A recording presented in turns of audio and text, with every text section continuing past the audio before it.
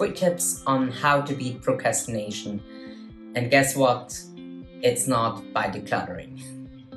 Among having a messy room, procrastination was a serious problem. Like, I ruined a lot just because I procrastinate and probably never gonna finish. So there is Nike with their just do it.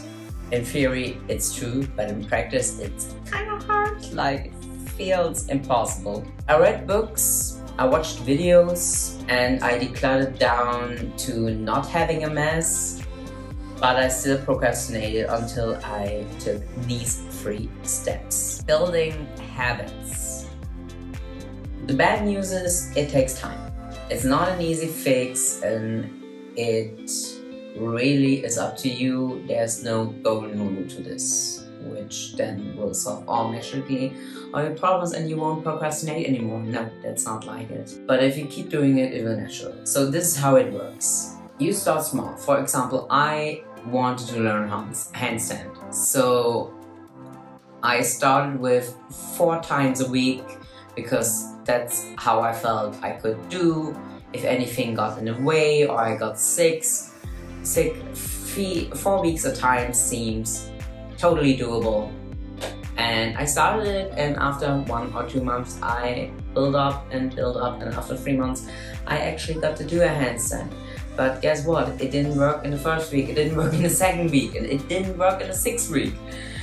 It takes really some time, but once you build a habit of doing small and achievable, you can actually go for it in the long run, and that's also what it is.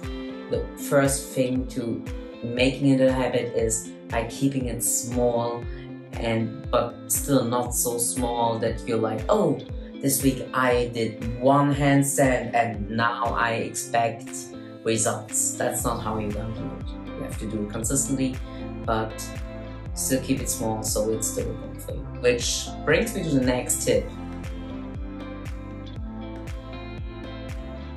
Have a to-do list that suits your nature. You might not have the energy for like six times a week. That's okay. Let's try four or three times. And when you feel like you can do more, then you can still up your game. There is the saying about um, the North Pole um, there, and the British team and the Danish team, I think, uh, correct me if I'm wrong, um, the British team was like, okay, in good days we will work as hard as we can, and in bad days we just stay still or try the one we can manage. And the Danish team was like, we do only 30 meters 30 meters or, or 30 kilometers um, a day, not more, not less.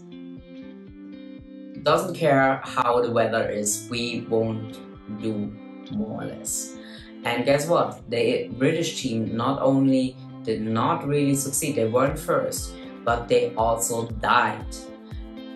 So the Danish team made it consistently, but to their nature they think that was doable and in the long it's it's always on the long run so they did it so keeping it small but still consistent and making it a habit of doing so you wanna impregnate in your you wanna imprint it on your daily life so you become like it which brings you to third thing change your mindset Let's, for example, take to, uh, trying to lose weight. Uh, you want to lose weight uh, because you want to be feel more better. You want to be more healthier. So the end goal is not to lose weight. The end goal is basically to be healthier. And to be healthier can be done in no time instead of losing weight. Losing weight is dependent on DNA, on your body, and on a lot of things you don't have control over.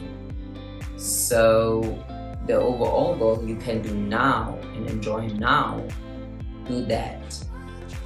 And the rest will follow. And don't be impatient. It will come. Like I took three months for handstands. I guess Probably some people could do it earlier, but still I managed it. The outcome, if it's on two months or three months, doesn't matter. I still got it and I still can do it and I can still can progress through it. So implying it to, to your mindset, changing your mindset and not being let go, but also about what's the overall goal. And then improving that so you can so the goal actually will be like a side gift for your actually overall goal. So think bigger. So you see, procrastination is basically a doable with three things. Uh, with consistency, keeping it small, and thinking bigger about the bigger picture about it. So you have progress on the long run.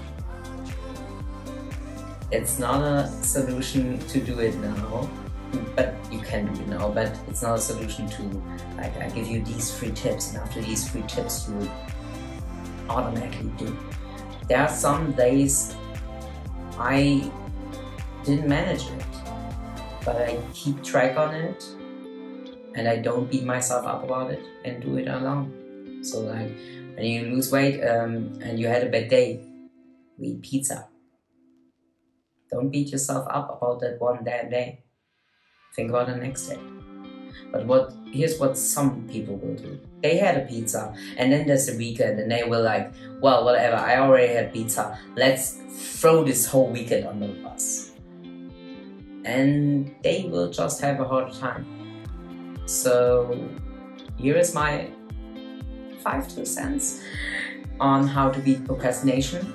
I hope you do good. See you on the next week and type down in the comments what you think about it. Bye!